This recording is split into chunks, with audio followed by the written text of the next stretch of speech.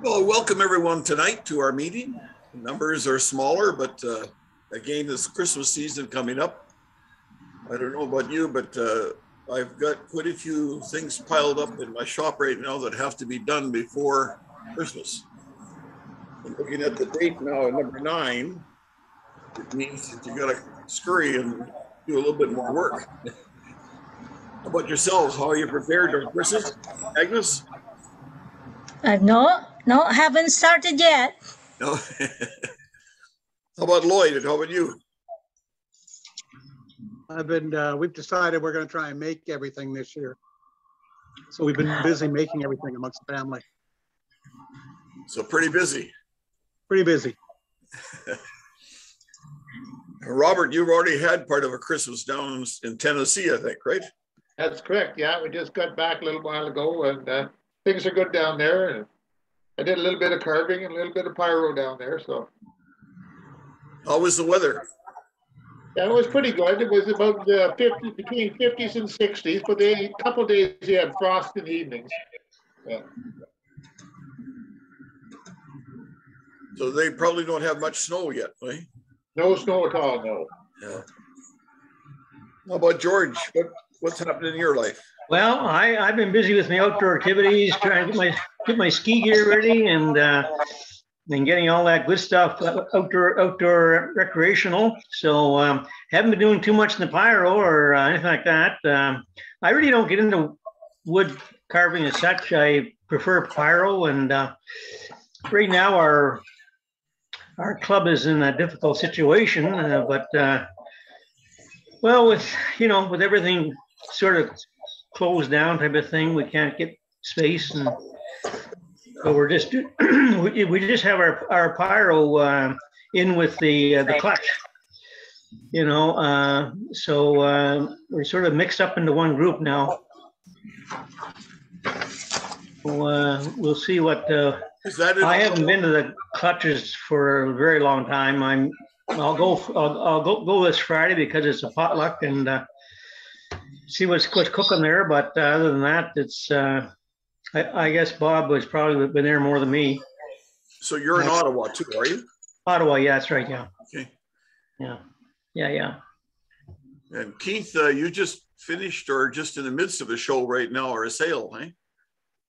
Uh, yeah, a couple couple of sales we had. We my wife and I did one on uh, Saturday at a church in Dundas, and uh, that's the first time we've done anything like that since since COVID hit. It was uh, uh, it was an interesting experience, and uh, we got to see how times have changed a bit in the last couple of years, and uh, also the Burlington Art Gallery, uh, which our guild is part of, has their winter sale on from late November till uh, uh, the end of the year.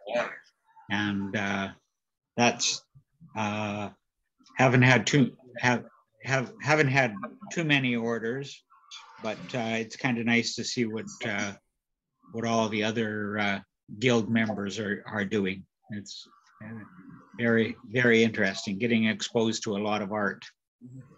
I looked at the show, uh, the people that were representing the, the show, and it's, it's quite interesting, quite a wide variety of uh, uh, art pieces of art and creations. Yes, there is. Yes. Yeah. Yeah. Yeah. It's it's really inspiring to go into that place and see what the different things people can do. But um, anyhow, like I said, we learned a lot at the art uh, at the uh, the church sale on Saturday. Nobody carries cash around anymore. Yeah. It's uh, it's everybody wants to do it. You, you need a debit card reader now to, Do to you sell at a use a debit Yeah. card reader? I beg your pardon, Murray? You have a debit card reader? No, no, we don't. Uh, my stuff, might- the stuff I was selling. Is I, I went into the square. Uh, it's simply called Square. And uh, do you have any Mhm. rest of you used that at all or been involved in it? Yes, and uh, but the one uh, I guess everybody else must be doing the same because the, the one that was recommended to me is uh, is out of stock, and I'm still waiting for notification from uh, from them to say that they've got inventory back in. There's one that uh, I forget what the differences are. The the really inexpensive one is seems to be available, but the one that's a lot more versatile isn't. Do you know the name of it or? No, I don't. Okay, I don't. if, if any of you are interested, the, the one, the company called Square. What it does is they give you uh, a couple of different kinds of readers are possible with that, but the little square unit, just uh, about inch and a half or two inches square. And uh, you can put the card into the slot or it has the tap feature on top, which 99% of the people use that. And it also uh, immediately recognizes whether the card is valid or not. And sometimes at the craft sales, people are giving cards that are not not good, and so you get stung for it if you accept it. They take the product, and then you find out later that the thing simply it was empty or it doesn't have the uh, cash behind it. But the, the Square unit is uh, what you do then is on a cell phone, you download the app and I touch the app on my cell phone. It brings up the Square program, and that immediately my cell phone connects through the internet to the Square people wherever they are.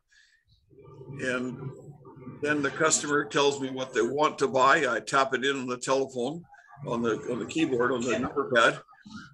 And uh, when it's ready and agree to it, they give me the card, they get over done put it over top and it gives a beep and it's all done. At the end of the day, immediately they send me emails of what I sold. At the end of the week, they give me information about that week, and sometimes the month will give you a whole record of it. And it also, you can do credit cards this way. And so it's really, and I also also use it for billing somebody uh, from the US particularly, when they can't do e-transfer, they want to, if they don't have PayPal or not familiar with that, I can do a credit card transfer and charge their card uh, with the amount that I'm that, that I'm uh, going to get. And so that it is really very, very handy. We just had a sale uh, at the end or the first part of December was Christmas at, by candlelight at Lang Pioneer Village I've taken part in that now for about 23 years of it. And uh, we had the first night was a blizzard. The second night was also more snow. But uh, people, there was only about 200 came, came the first night. And we didn't really have much reaction or much contact with the people as they came through the doors. And I think probably they're worried about leaving early and trying to get out of there before they get stuck on the road. But the second night was about the same number of people, but the sales went crazy. I sold all kinds of little carvings. And that was really kind of exciting for us because uh, it's nice to have that little lump before Christmas. And so it does, uh, the sales are there and it helped. I'm getting an echo from somebody. It was my words, I think.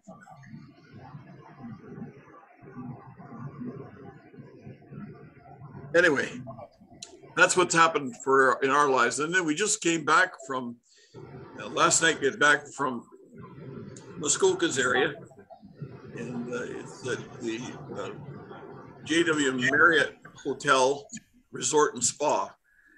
We went up for the Tuesday afternoon and then came back Wednesday, and uh, just to to meet the people, to see the facility, and see what the possibilities were. And uh, we're going to have uh, two opportunities that are coming up now because of that. One is between Christmas and New Year's, and the other one will be in February that they're looking for help on. It's uh, three, the last three weekends of February.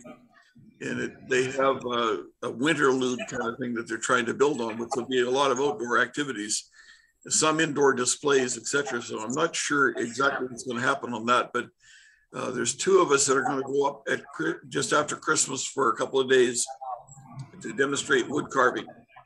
So it's kind of the initial start of it. And I know that Keith, you said something about being willing to go, but I'm just not sure yet about the burning. Uh, they've got signs up all over the place because it's completely uh, smoke-free place.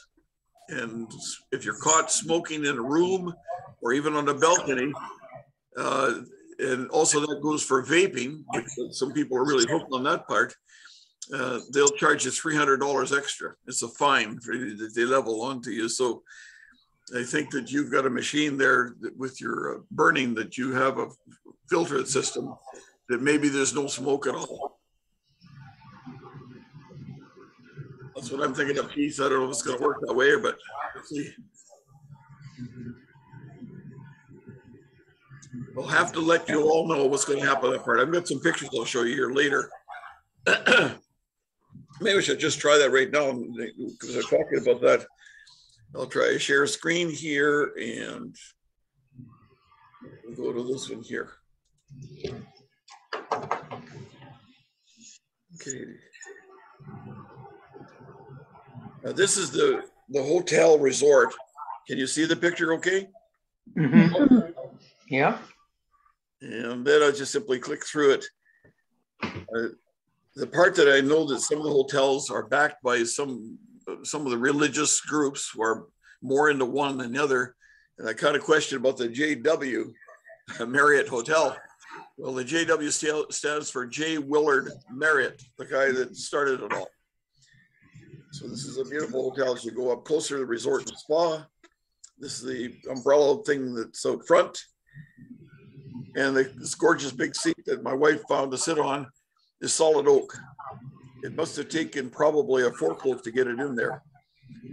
But it's uh, one very piece, a beautiful piece of woodwork.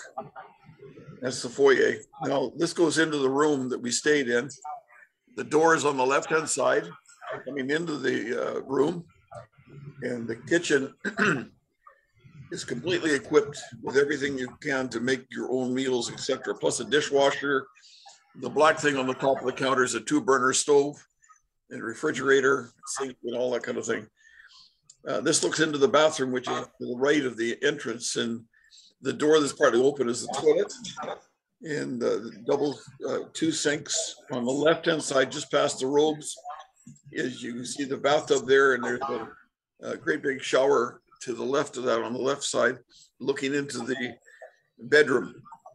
And it's a beautiful bed, uh, all carved out of pine. It's hand carved, and they're uh, on top of there. The uh, little balls or the knobs are uh, acorns, not acorns. They're uh, bah,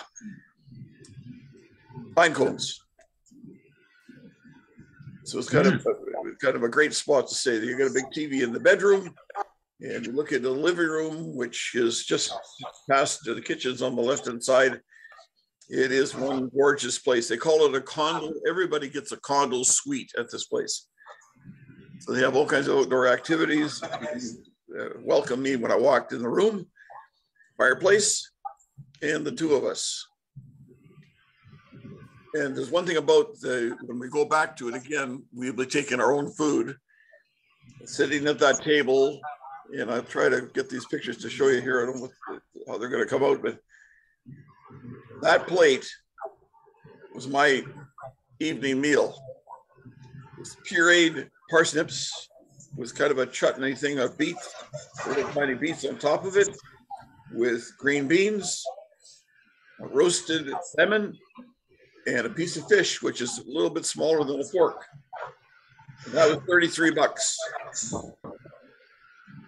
That was more delicious. My wife had is kind of a mushroom thing and with some rice, and that was also about thirty-five dollars or so. So the total meal with one dessert, uh, with with uh, the dessert, one dish we shared a piece of cheesecake, two plates was ninety-nine dollars. It's not something that uh, this wood carver can afford. but that might be a help to you just to understand what we went through a little bit there you know, back to our.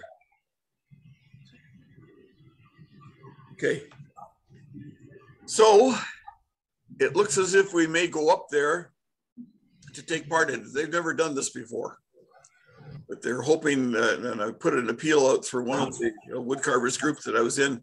If there's anybody in the Muskoka area, like over Parry Sound, Gravenhurst, uh, that area that would like to take part in this, they're looking for people to come. But for most of us, it's quite a long drive. When you think about St. Catharines and where you're at, uh, it, uh, it would be a little bit of a, a longer drive. You'd probably talk about four hours at least to drive up there.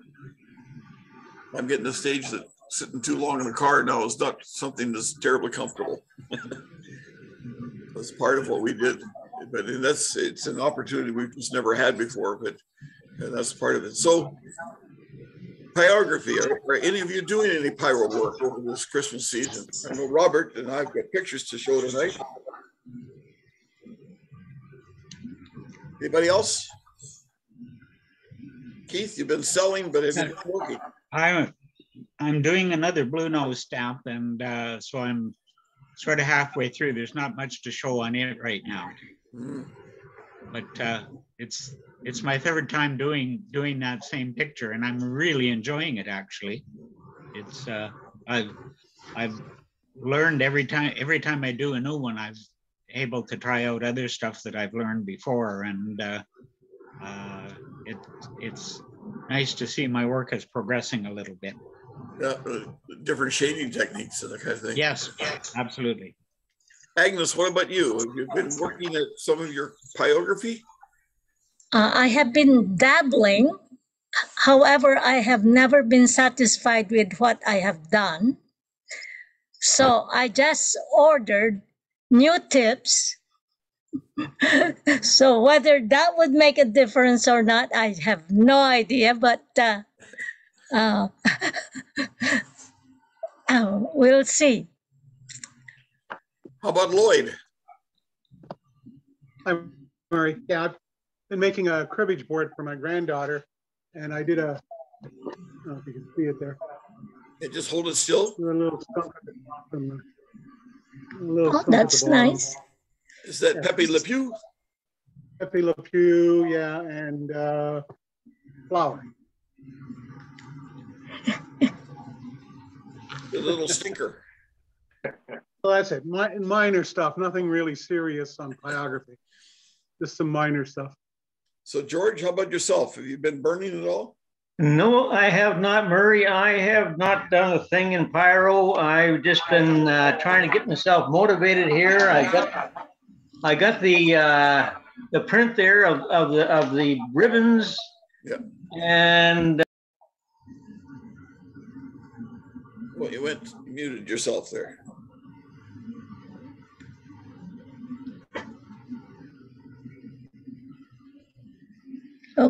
It's been quite difficult actually trying to get myself organized and uh, motivated to do any kind of pyro. Um, I I seem to be more inclined to do pyro when I'm with the group. Uh, you know, when I when I when I'm with all all the- rest of the py- the pyro people, and uh, I guess that's my my motivation. Uh, so at home, I'm always finding excuses to do something else, and uh, so that's my biggest drawback. But hopefully, in the new year, I'm going to uh, uh, try to make more of an exerted effort during the nasty days, uh, snowstorms, and it's not very pleasant to do anything outside that's a good time to do pyro, I guess. But um, yeah, I'm, I'm, I'm going to try and collect uh, a few uh, few patterns. But I think the biggest thing, you know, Murray, is trying to get the uh, raw material, yeah. uh, like like our our our um, our supplier, uh, um, Bill. I mean, I I don't know where uh, where are you getting your wood at, uh, Bob? Mostly KGP. AGP. That's expensive. Well, sometimes you can get a good deal there. Yeah, hey. Yeah, well, I know I've been there a few times, but uh, I find the prices, uh, I don't know, they're pretty, pretty high. I, I, I don't know where, you want that? The wood source, Wood, wood source, so in, in, Ma- in Manotick. yes. Oh, yeah, yeah. I'm just wondering where, where Brian, Brian Graham gets his. I I wonder if he uh, is able to get a hold of Bill. I don't know. Because Bill was our main supplier, you know, and uh, his prices were really good, but I don't know. I'm gonna, I'm gonna have to find out at the clutch here on Friday to see what's, what's, uh, how accessible it is to get, to get a hold of him, you know? Anyway, You're doing uh, these the things that both of you have done, things on uh, maple or birch, or what kind of wood are you looking for? basswood Basswood? and, and, and, um, butternut and, uh, well, Bill has, has a selection of other types of wood too, I guess, but, uh, uh, he, he, he was our main supplier, you know, and, and, uh, so now with this pan- pandemic, uh, oh boy, oh boy, oh boy, it, it has changed things so much, so much. You know, White pine is good to burn on too. what's that? White pine, White pine, yeah. I'm sorry, not pine, white maple. Maple, oh yeah. Yeah, yeah. Um, it's too bad KPG didn't have, um, you know, like, uh, discounted prices or, or, uh, sales or something like that. Uh, I've never seen anything that's, on sale there, you know? So, uh, but they do have a lot of different kinds of wood. Oh my gosh, they got a lot of different, uh, species, you know, but they charge an arm and leg for it. So I've, I've been, I've been actually doing a little bit on, on, um, on hundred and forty pound cold press paper, you know. It certainly is a lot cheaper, you know, to put on paper as opposed to wood, so. So I think that's probably gonna be my source starting the new year, is putting everything on, uh, on, uh, on cold press paper, you know. One thing you can do is uh, go to the uh, Home Depot or Lowe's and they sell the plywood. I think it's probably, some of it's a quarter inch, maybe some a little bit less than that, but it's good one side of the kind of uh, thing I'm looking for is birch on one side or maple. And uh, they're two feet by two feet and they're not that expensive, hmm but you can Mhm. cut it up into smaller pieces, whatever size of pyrography piece you're going to do. Right, right. Yeah. So what, would you find that in the, uh, uh, scrap, scrap bin or is it No, select? it's, it's a special area back uh, in our store. It's near where the plywoods are and uh, some of the lumbers and that kind of thing. So you can get it. it. Each store is different, but the one that we're in is to the right and it's to the towards the back of the store. Okay, and, and they'll cut it up for you or what? They have it cut already two foot by two foot. I also buy two feet by four feet. Two feet by before, that's pretty, pretty big Yeah. chunk, eh? So then you bring it home and you cut it yourself? Yeah, I cut Yeah. it myself that way. Yeah. Yeah, Yeah. well, that's, that's the, the next problem for me, because I'm living in a condo, right? So I mean, uh, it's, it's, uh, it's pretty hard for me to really do do any kind of work inside the condo, Yeah. you know? And, uh, so I would have to have all this prepared for me, you know? Yeah. So the only place I- that we have here in Ottawa is Rona, and, uh, they'll, they'll do custom cuts there. Depot will just do, uh, Pacific cut. You know, um, I guess the wood, the wood source, maybe in Manotick, they might, they would probably do, they would probably cut it up in, uh, in whatever size you need it, but, uh, yeah, I guess these are all things I'm gonna have to examine. Uh, Home Depot will cut also. They're they're very easy to work with. Okay, And Okay. you may pay a dollar a cut after the first cut's free, I think, and then after that you pay more. But right, right. come out of it with some pretty nice pieces. They got a really good saw, usually no frays at the edge or anything. okay. Okay, So Keith, you've used some of the plywood, haven't you? Yes, yes, I have, and uh, uh, I, I've uh, had got it from Lowe's or Home Depot, and like you say, they they charge. It's uh, here. It seems to be fifty cents a cut, so it it doesn't add a lot to the cost of uh, uh, of, of the piece. The other thing I'd say about the plywood is that uh, most of the, most of the sheets I've seen have had some sort of a, uh, a finish put onto it, probably to try to make it smooth, but you need to sand it lightly before you start to burn. Yeah. You can see that it's like, it's almost like a soap wash that was on it, dried on the surface of it. And when you burn it, that does change color right next to the burn. It's almost like it's, uh, I don't know how to describe it, but it's, it would be kind of an orangey color beside the black burn. And it's mainly because that finish is on the surface of the plywood. Okay. Well, what I'm going to do quickly is just do, we just have two of us that sent our uh, things in, but we'll give this a try and it's. uh, And we'll go to.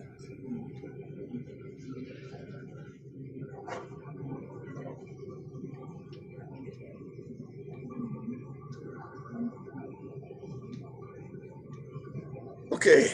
I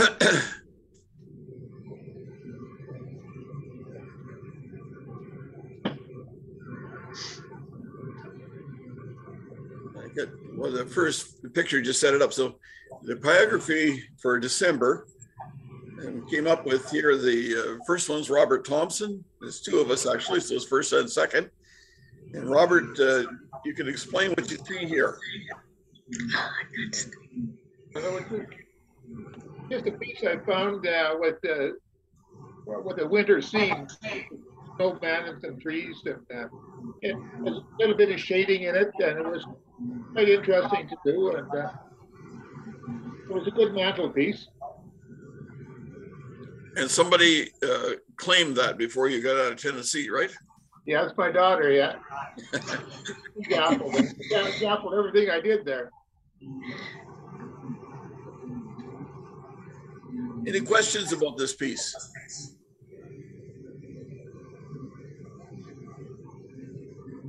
We'll go to your next one, Robert.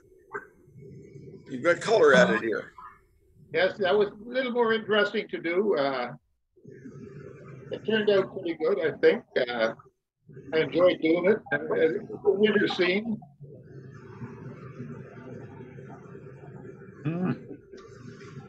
Yeah, From the top of looking at your clouds, you did a great job of blending the white and the gray and uh, blue and whatever's in the coloring. Mhm.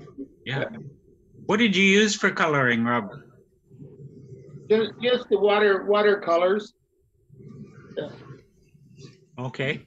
Is that painted or watercolor pencils? No, it, it's uh, it's uh, watercolor acrylic uh, uh, paint, and uh, some of it I didn't paint. It's just uh, brown is just a wood burning. Okay. I just painted the white and the, the green. The rest is just wood.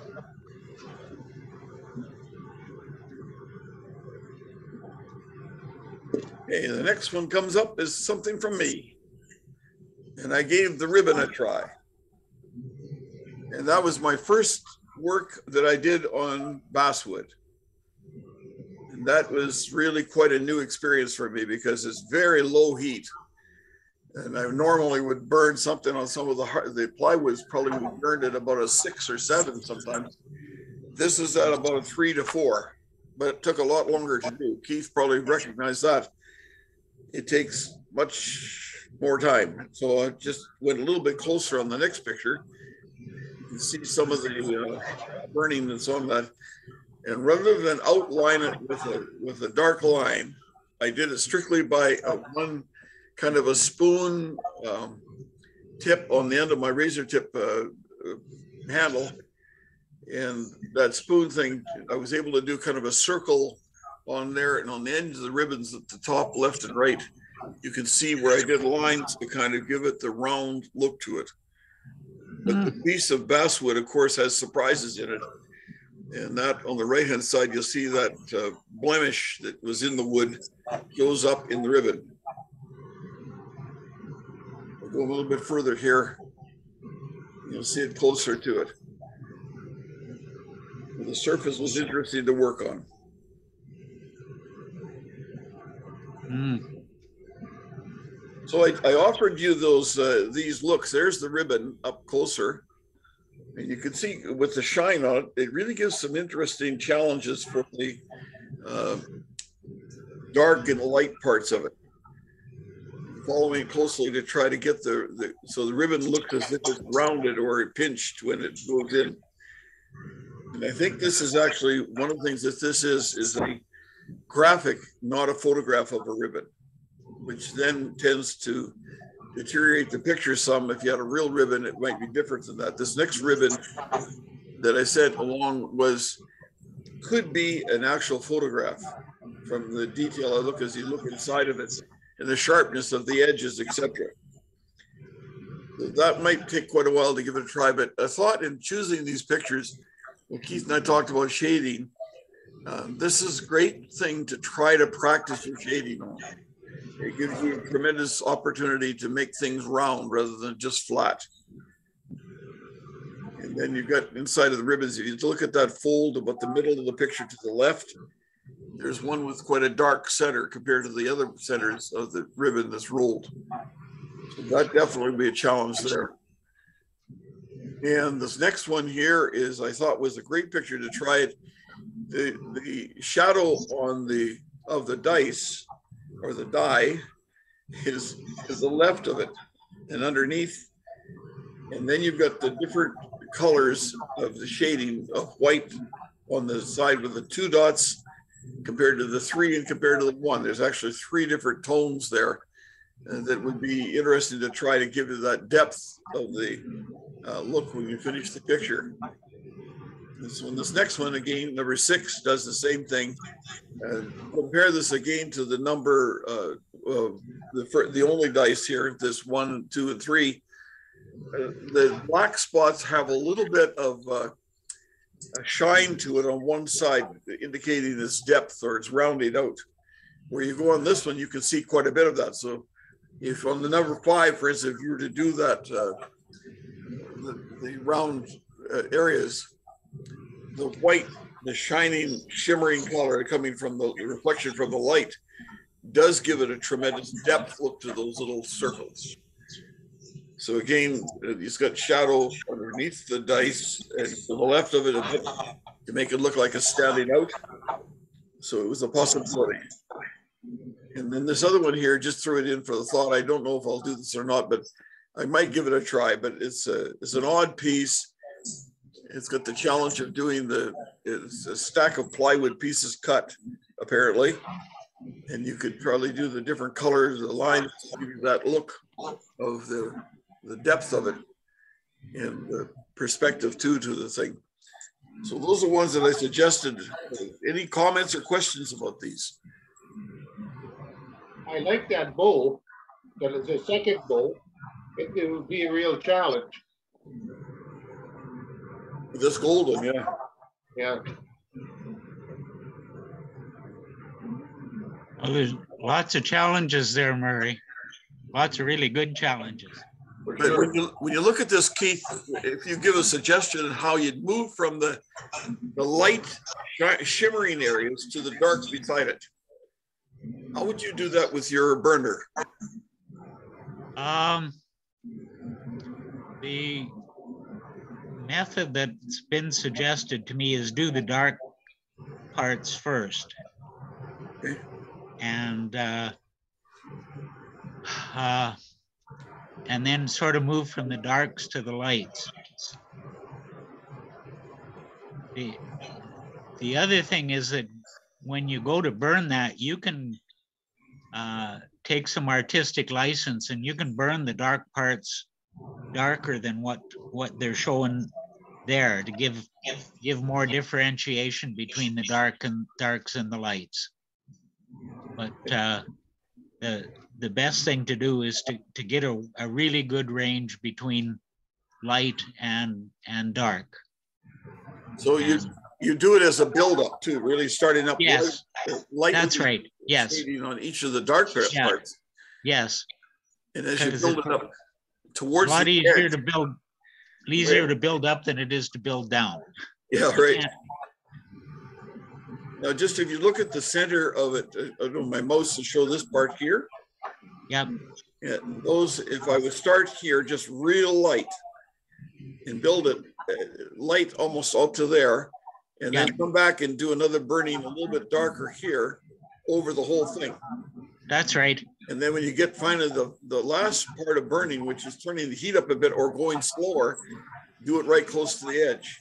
hmm remembering here that this ribbon piece is beside these two and the shading and the darkness is darker yet. So you don't go too dark here, but you go darker here. Yes, And the edge of it here between this roll of the ribbon is interesting because you'll see uh, the small, the smaller piece behind it.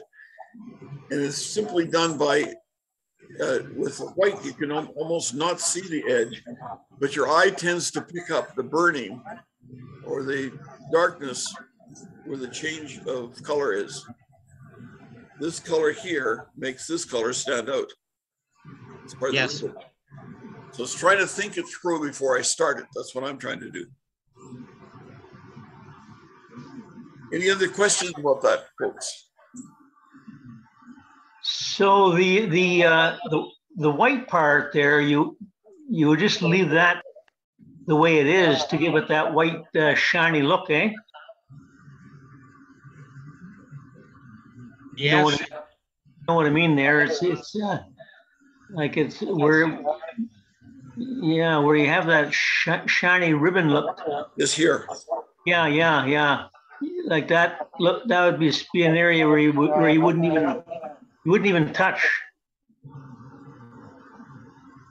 It's the same color as the background, actually. That's right. But again, you could put a little bit into it because the white back here is not the same as the white here. Be very, very, very light, just the lightest possible level your, your burner would be able to go. And George, I think you'd probably get a better result with this, with that, with the paper than you would with wood. That's right, that's right, you would, yeah. a Gleaming white here compared to the wood's color, like uh, using a piece of plywood with birch would be almost a tone of some of this background, see?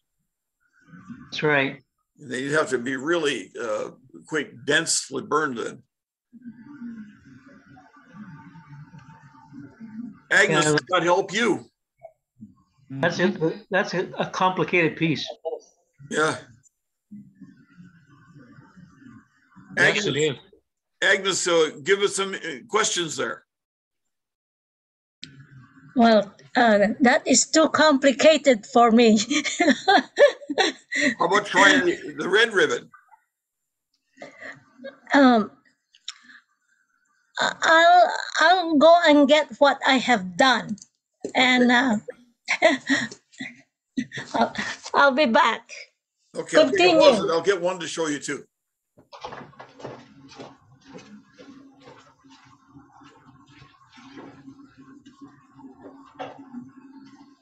So like when you, when you, uh, when you, uh, draw that type of thing, um, you would just draw the lines of the ribbon, uh, um, very lightly, I guess, eh? Uh, you wouldn't, you wouldn't have to really trace too much of that, would you?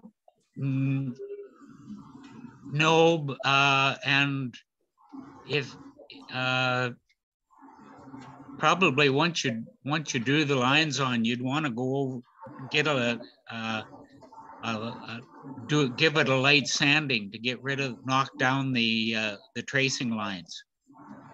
Right, right.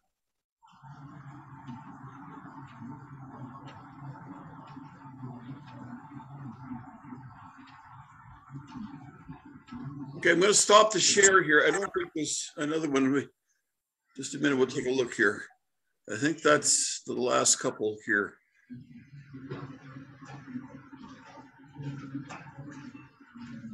Yeah, that's our last one of this particular slideshow.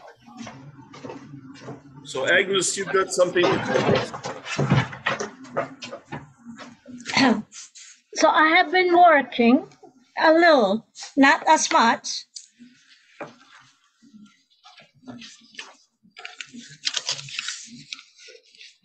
See a, uh, that's my picture. It's actually a painting. And uh, I am still not finished. Yeah, hold it still now. So that's your burning, is it? That's my burning. Well, it's coming along. It really looks good. hmm Yeah, it is. It's, it's nice. Show, show it. Can you hold the two side by side? Yeah, Now tell us about it. So when you do, then you come up on the screen. Talk. Oh, well, I I uh, I find that uh, my the darkness. I have problems. Sometimes the the tip is too dark or not dark enough. Anyhow, there none of them is, but they kind of is blotchy and I can't seem to have good control of my tip, and I am blaming my tip. so I ordered a different kind of tip to see whether uh, that will help me when I am shading. Okay, if you hold it still for a minute, if you look at this part where I'm, I'm most- I'm putting the mouse on it, you, I can see what you mean by blotching, the, the little darker spots compared to the lighter.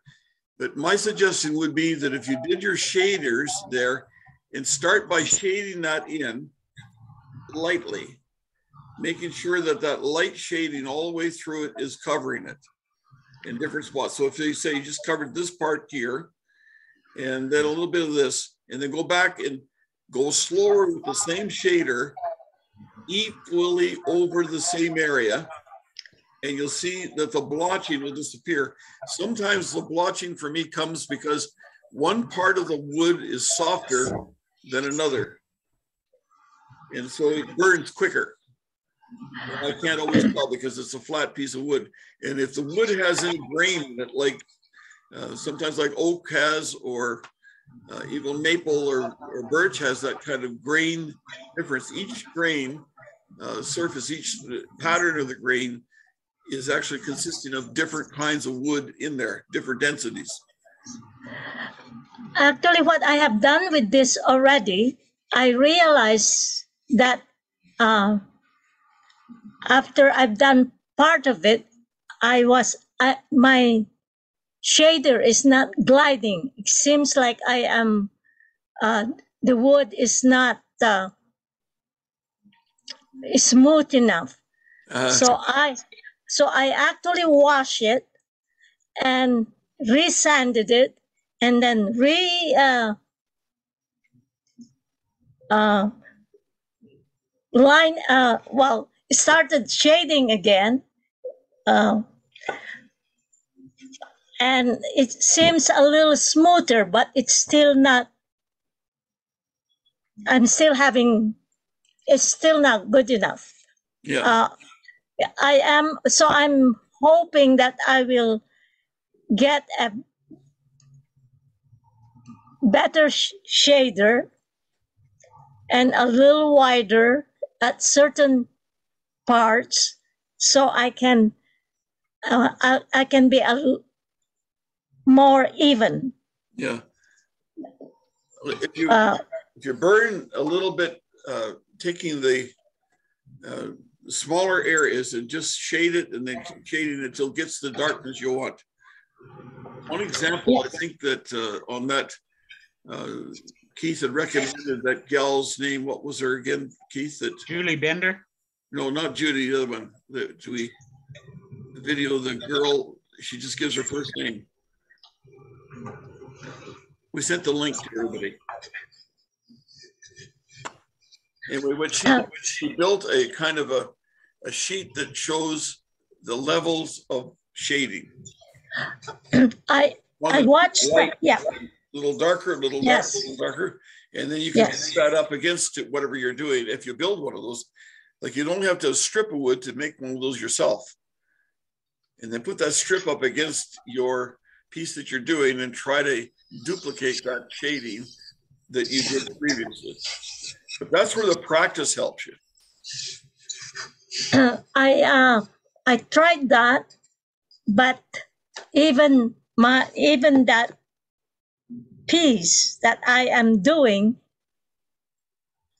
I, I I'm I I'm not. It's not as it's not the same thing that uh, I think her name is Julie. Uh, Okay, even her practice piece is so much better than what I can do with my practice piece. So Uh-huh. I, I really need to work, uh, do a lot more work.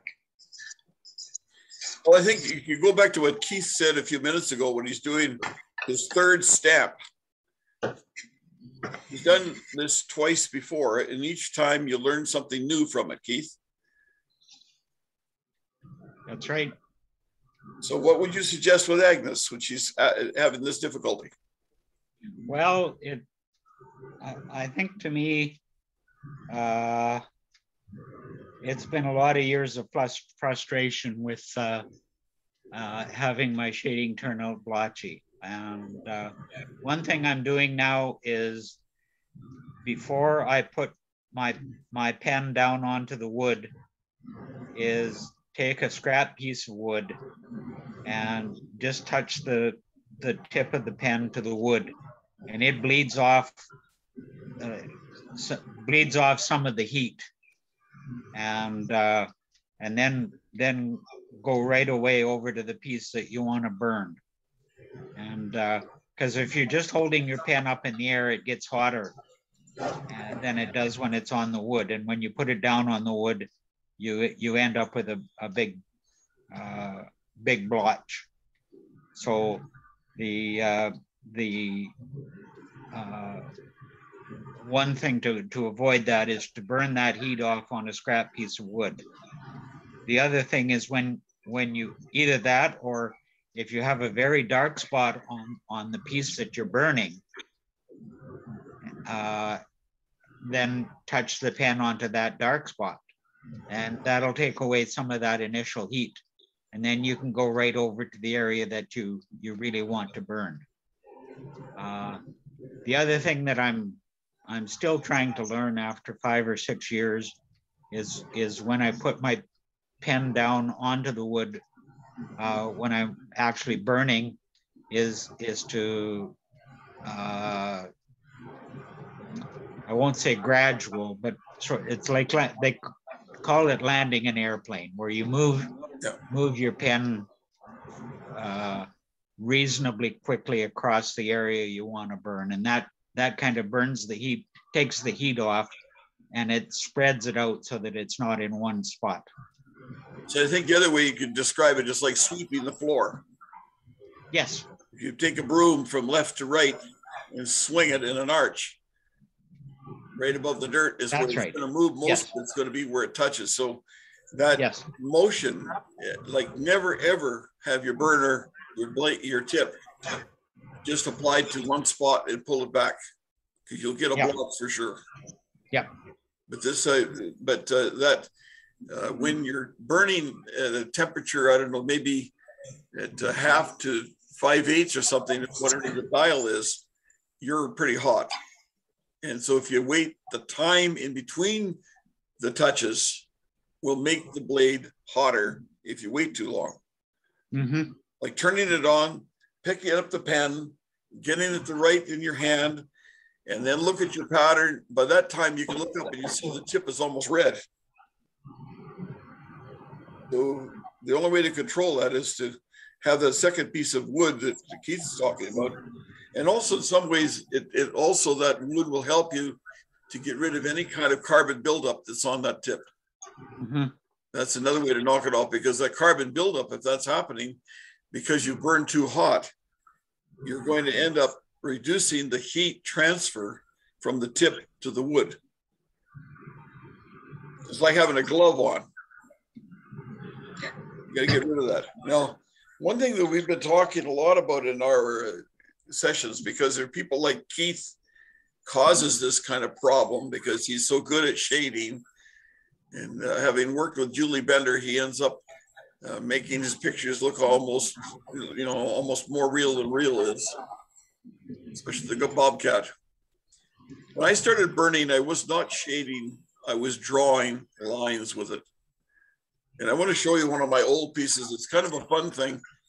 And this, uh, for George, I know this might get you started if you had something like this, but My mother had this rolling pin that she used for large slabs of clay. It's actually a rolling pin from a baker. And you can see how big it is. Oh, wow. If I come back a little further here, you can see it. That's a big pin. That's a big rolling pin. Okay. See, wh- what I'm doing on this particular piece, I'm gonna come a little closer and uh, hold it still if I can, where, where it doesn't disappear. It's gonna disappear because this, this is, just a minute, I'll make some changes on my screen here. It'll help a little bit more if I go to virtual backgrounds and I'll say none. In the virtual background, then I'm holding this up for you to see. Control it this way. What I've got is an old village that I put on here. Is that is that clear enough for you to see? Yeah, Yeah, yeah, yeah. Really nice. Yeah, yeah. Wow, that's pretty, pretty neat. And so it, it's been so much fun to do this because there is a little bit of shading in the trees and to get my contrast of colors, that kind of thing. But it's just imagination. The Right. entire rolling pin, this is about 30, 36 inches long, roughly. Mhm. And S- So did you have a pattern to go by or was that just like from your head just by hand, just by imagination. Imagination? Isn't that amazing how you managed to put, put, put that together? Well, That's it- great. I don't know if you can see on this one here. Uh, I can't remember what uh, which one I did this on, but Hmm. oh, here on this side here, this part of the rolling pin. Yeah. And what I did there, if you can see the top of it, imagination wise, they've got a Mm. clothesline strung up with clothes on it. Yeah. from the All top. right, yeah. So it's it's definitely imagination. So you can't make a mistake. There's a guy with a kite, I think, there too, isn't there? And some of them Yeah, are I- more detailed. Mhm. Uh, this hangs in our kitchen. It's a decorative piece and it gets lots of comments. But you can take an ordinary rolling pin. The one thing is to wash it off because especially when you buy it from a antique dealer, it's somebody's used this a lot with oils in it. And they've done it for baking. They may have put flour together with the butter and that type of thing and rolled it out to make shortbread, for instance. And you'll end up with that in the wood. But this piece was only used for clay. So it didn't have any of that that uh, that oil in it. But I have burned some that were had had been used uh, for baking with you know the products on it. You can feel it actually when you pick it up, and uh, it will burn really weird. And it also has a smell of something burning in the oven. that gives you an idea. So, what I'm speaking to here is the line art. It's not just shading. You could probably shade some of that, but it's not going to be as effective as the line art is with all the different patterns and things that are on that picture. It gives you an idea what's there.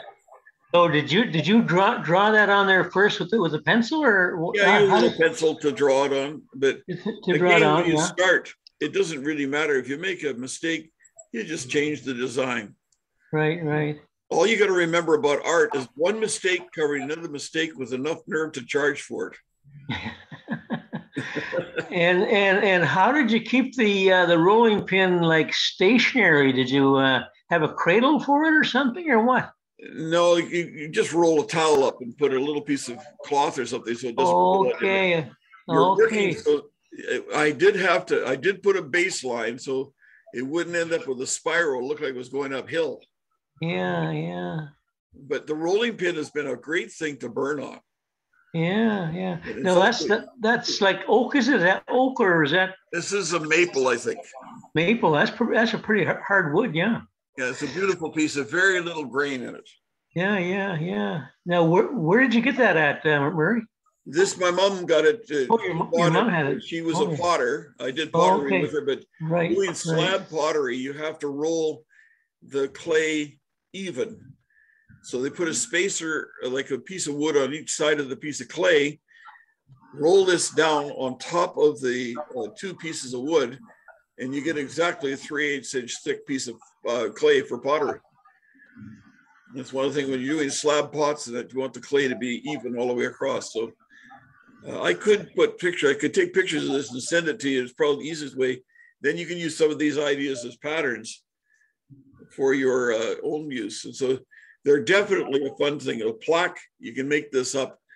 And I actually, when I did this piece, uh, people were having me do a line art by drawing it by hand with a pen, uh, with the black tip markers and. And then they would uh, do a, a, a pattern off of that, burn it onto a piece of rubber. And the rubber stencil was made from for those uh, for to making uh, cards and that type of thing. So my patterns, then my houses and things that I drew were made this way into rubber stamps. And they did stamp stamp arts for cards and whatever. So there's just no end of what you can do with. I'll I'll take photos of this and send it to you guys so you can see the what the houses are like. It's probably better than this kind of thing that I'm doing right now. Although I hope you can see it with that. Is it clear enough Mhm. still? Yeah, yeah, it's, it's, it's not bad, actually.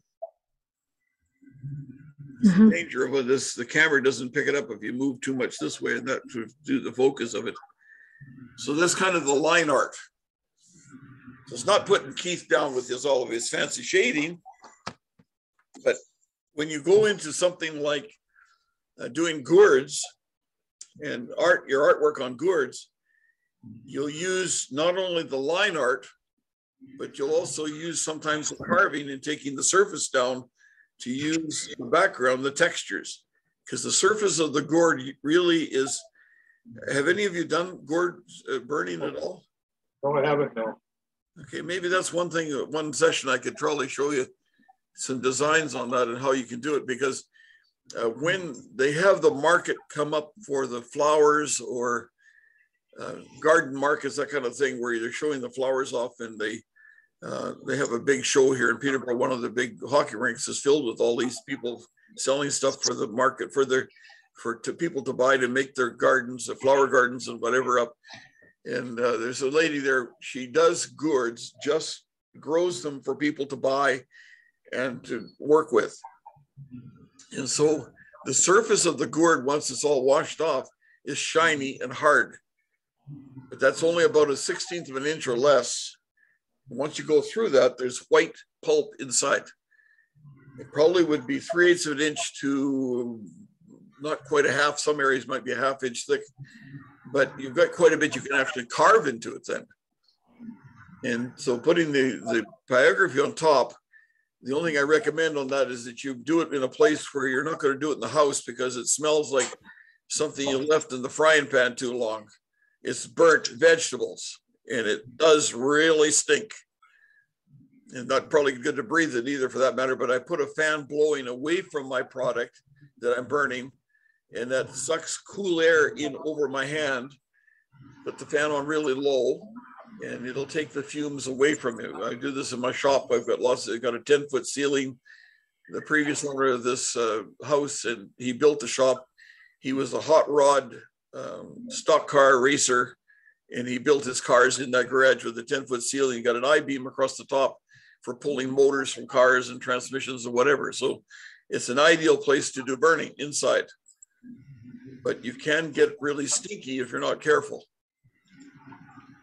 I think some of you might really enjoy uh, pre- preparation, doing gourd work. I've got quite a few of them I've done already. Do those gourds not go rotten? No, if they, if they, if the person that you're buying it from knows what they're doing. Uh, one lady, I said, she had some really nice gourds and she had some that were not yet dry. She says, all, all you do is put it in the house behind the TV. That was the old TV, the big uh, kind of a, your television this way, and then it's that deep behind.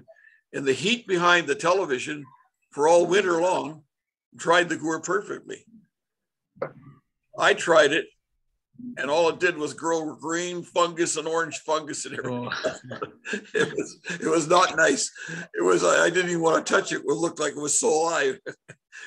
but there are people that do the gourds that dry them, and uh, again, what you might get on it is blotchy looks to it because you'll have dark and light uh, areas of the gourd color.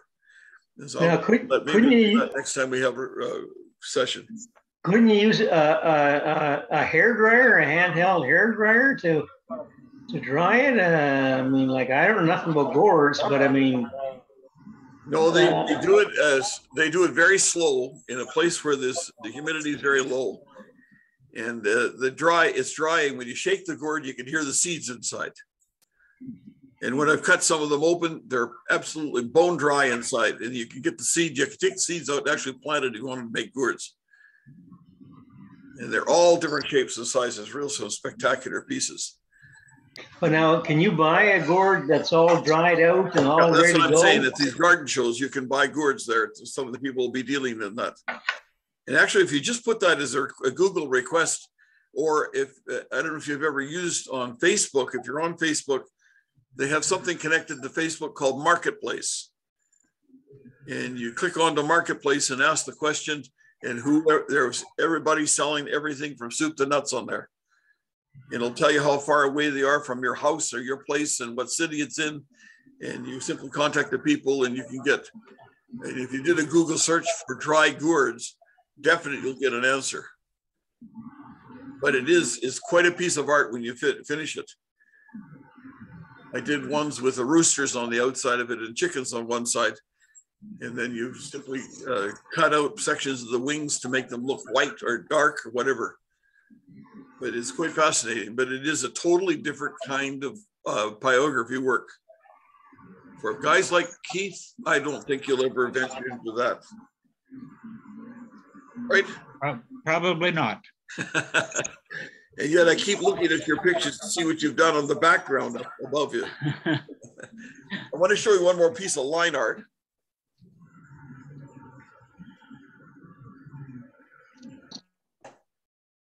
So uh, Keith, have you ever uh, burnt on leather? I have done once. I bought a uh, uh, an address book for my wife, and then I went to uh, Tandy Leather and got a a cover, and so I uh, I, I put my wife's name on it, and it it was quite interesting. It's uh, uh, it, it's different from from wood, but not that different, and uh, there are are people that that's pretty much all they do.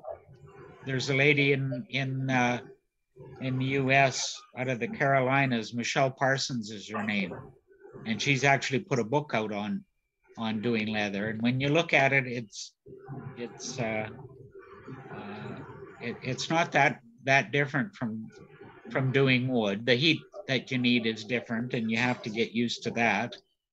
And one rule is that you use uh, untanned leather with vegetable dyes. You don't, some, some, a lot of leather is tanned with uh, chemicals. And you, you don't use that because it, it, it's, uh, it's not very fun to burn with.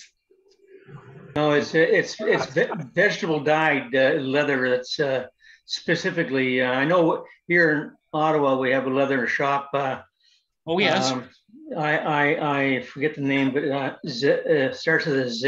Uh, um, I don't know, but he he has a leather shop with all kinds of different types of leather, including Oh, the veg, vegetable dyed. yes. But it's it's it's not cheap, mind you. I mean, you know, you're you're paying a good penny for it. yes. Yes. Yes. Yeah. but it it, it burns uh and you like you're saying it, it takes very little heat Mhm. you know it, it burns very very nicely but you really have to uh, be extraordinarily care- careful very Yes. careful yeah Yes, yeah yes, Yeah. yes, yes. Now, was it you who said you were burning on watercolor paper? yes Yes. Yes. How, how are you finding that? Uh, that uh, burning on paper it's um once again it's different than burning on wood wood of course um it it um uh, you have to use a higher heat Oh, yes, okay. a, a higher heat on paper. Um, like if you're using, like we'll say a, a five on wood, you'd probably have to use maybe a six and a half on paper. Okay, You know, so I mean, uh, the scale that we talked about earlier in the show, uh, that wouldn't be applicable because, uh, I mean, you know, you you know, use, use a, spe- piece of scrap cold press paper and, and check it out, but Yes, wouldn't be the same setting, you know what I mean? yes, yes. You know, so, so, Yes. uh, yeah, so that's what it, Okay, and you use cold press rather than hot press? uh, cold, cold press, hundred and forty pound, yeah, cold press, yeah, Okay, yeah. okay. Well, I'm kind of think, I'm thinking about trying uh, something. Yeah, it's, it's, it's a heck of a lot cheaper, cheaper than wood for sure. Yes, yes. Oh, yeah, yeah. Yeah, yeah. Well, Here's the example of, uh, this is a, a plate that I bought from, uh, you can see somebody's turned it on a lathe. It was, uh, I bought it from, uh, Chipping Away in Peterborough, area in uh, Kitchener. And I think probably it is basswood or maybe willow. It's just hard to tell exactly what it is, but what I did was to draw the design on it. And then I did the burning. Oh, well, that's really nice, Murray. look at it in the right spot here, you can see it here. And so Yeah. you're, it's quite intricate burn, eh, quite intricate designs. And it's also has, the backgrounds are burned black, but with time, this is done in two thousand and five, it's starting to fade now. At least the dark seems to be disappearing. It's actually because the plate itself, the wood is now uh, changing, uh, its patina effect is starting to take there, so it's darkening. It's a lighter piece that I have, so to get the shine away so you can see it better. Does that help to get closer? Yeah, Hmm, That, that particular pattern is in one of the Pyro magazines. Is it? I, I Yes, just it did it from thoughts. Or, or there is a pattern quite similar to that. Well, the old days, a lot of the Greek plates and stuff had designs like this on it. oh, yes. So this is actually the way it's showing you now. The bottom of it here is the bottom area of the plate and design. The top hangs from up here. On the top of this part. So the left and right are kind of not quite mirror effect. I was going to do that, but it didn't work that way. But inside is like a flower garden. Mm, Can you see that close there? Yes, Mhm. Yeah, yeah. Never focuses well enough on that, but and then it's just imagination for flowers. It's nothing of any one particular kind, but again, it's a little bit like fine art. It's using pyrography in a different way. So, you know, if you're you're kind of stuck in an area right now and you can't get going, why not try something different? I see up behind you, Keith. There's a couple of plates on the wall Mhm. behind your head. mm-hmm. that you have done some burning on like that. Is that plate or papers or what are they? That's, that's plates. Uh, Yes, I've, uh, yeah, yeah, you're just looking at the patterns on top, top of the plates. So I've started them and I haven't, uh, progressed all that far, but that's one of my favorite things to do is, is plates. Yeah. And, uh, yeah, yeah. I, I've got a question. I'm, uh, I've seen some nice paddle, mini paddles with birdings on them. And I was wondering if anybody knew of a source of getting the, uh, blank mini paddles. If- To- To buy the paddle, you mean? Yeah, yeah, I just want an unfinished paddle that I can finish. Uh, Yeah, I, I, I had a, a- a mini paddle that was given to me, uh, many, many years ago, but I'm not too sure where, where he got it. It was, it's exactly what you were asking for. It's only about, about two feet long, Yeah, yeah, but it, but it's like a, it's in the shape of a, of a canoe, canoe paddle, you know, and it's, Yes. uh, yes. I, uh, uh, next time I see him, I'll have to ask him where, he- where, where he got it at. Hmm. Yeah. Okay. You'll get, uh, if you do paddles, you'll get orders to do paddles. And did you, you remember that one that we showed in the magazine a few week, a few months ago now? It had the paddle, it had the water droplet on it. The, the fellow, I think he was from, was he Thunder Bay or somewhere? I believe so. His, his paddle was just striking. Yes. And I think, did he do some inlay on that too? Yeah. I don't know. It was a, it was a beautiful piece anyway. Well, I hope that's been a help to you tonight. Stir some Mhm. thoughts up and our goal Yeah. tonight is get George going, Yeah. get Agnes on the right path. Yes, Next year, next year, Marie, next year, next year. I've got, I've got so many jobs to do tonight, but we're gonna finish this up now in a few minutes and I've got probably four hours of carving to do tonight. Oh my I average God. about four hours a night carving in the shop. Oh mackerel, jeez, you're dedicated. Got the uh, cable vision out there and some good TV programs on and uh, a nice gas furnace hanging from the ceiling. Oh, yeah. It's a, it's a place of, my wife and I have a good marriage. She spends times in the house alone. I'm in the shop alone, outside. Yeah. Well, I'll you, you, you probably have quite an impressive shop, Murray. Oh, they talked about it in the, the ca- caricature carvers. Uh, One suggestion was that somebody would take their cameras and uh, do a walk around in their shop. And I said, that's one thing I will not show anybody. I a- I have a warning before I bring anybody in. If you have a problem with OCD, don't even come in here. I've had some people actually not, I didn't tell it was when I started telling that was after they said that one couple said, she wrote back to me, she said, my husband been, has, husband hasn't been able to sleep since he walked in your shop. And I said, what's happening? He says he wants to organize it. Hey, clean it up.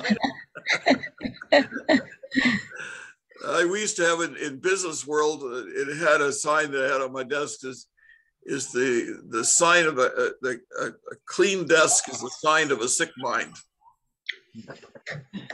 Yes, Creative things are all over the place. yes. Keith is really brave. Look at all the stuff he's got going behind him. My goodness. That's, yeah, if only get going and finishing, finish some of it. well, you got cataract coming pretty soon. Surgery. Yes, yeah, yeah, ten days, eight, eight, twenty-eighth, so, Oh, that's Yeah. great. yes. So watch Yeah. out. Pyrographers will have no chance when Keith can see again. Yeah, think what it'd be like if he could see. Well, it's been good getting together. Even this fall number, it's great to be together again. Yeah, it sure is. It sure is. Yeah. Murray, could you stay on the line for five minutes with me? Sure. Yeah. Good. Okay. Everybody, we're shutting down the video. Oh,